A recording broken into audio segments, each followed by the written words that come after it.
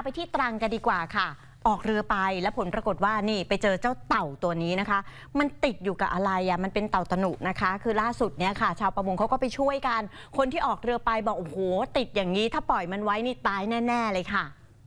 หมดแรงนะครับ หมดแรงติดตะกายติดตัวหนึ่งรุดยังนะนี่นี่ก้าหน้าก้าหน้าอ่า เป็นไงเอาเอาใช่ออกร้านกินเลือกกันโอเค ไปแล้วครับ นี่ไปนะครับไปนะครับ ช่วยมันได้สำเร็จค่ะ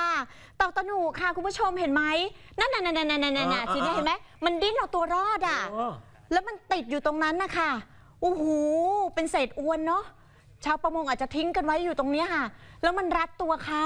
เออเออเนี่ยเนี่ยเราต้องไปช่วยกันเห็นไหมนี่โอ้ยช่วยกันตัด ขยงขยะเอาออกจากตัว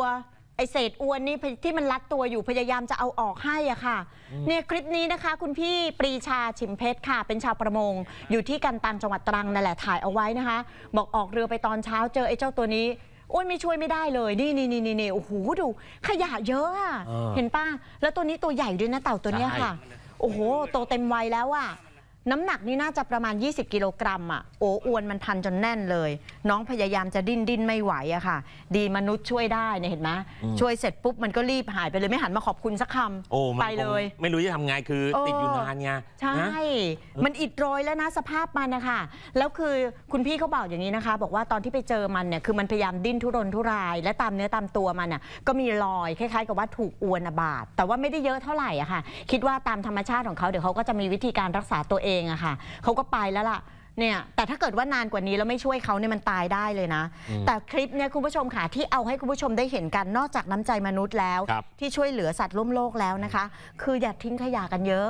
แล้วก็เศษอวนอะที่ถูกทิ้งลงทะเลอย่างเงี้ยคุณจะตั้งใจคุณจะไม่ตั้งใจก็ดีเนี่ยมันเป็นอันตรายกับสัตว์น้ำได้ คุณเห็นไหมล่ะ นี่เป็นตัวอย่างอย่างหนึ่งเลยที่คุณพี่ปีชาเขาถ่ายมาให้ดูอะค่ะเออเออนะมันเป็นอวนหาปลาเหรอ ใช่เออเนี่ยดูสินะ คือโอ้ดูดูดูรีบว่ายไปเลยล่ะโอ้โอ้โหไปเลยไปเลยติดอยู่บายตรงบานั้นยบ๊ายบายไม่หันมาขอบคุณจริงเนาะคือคือมันก็คงแบบว่าเกือบตายอะเออมีคนช่วยให้รอดชีวิตได้ก็ ไปก่อนแล้วกันๆแล้วไม่รู้นะว่ามันน่ะติดอวนอยู่ตรงเนี้ยมานานแค่ไหนแล้วเนอะโอ้ถูกไหม ทรมานน่าดูอะ ที่มันรีบไปไม่ใช่อะไรหรอกบางทีมันอาจจะรีบไปหา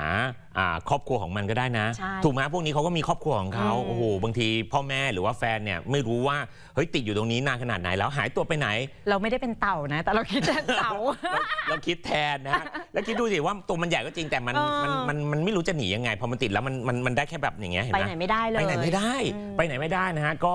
โชคดีที่ค่ะรอดชีวิตได้นะครับ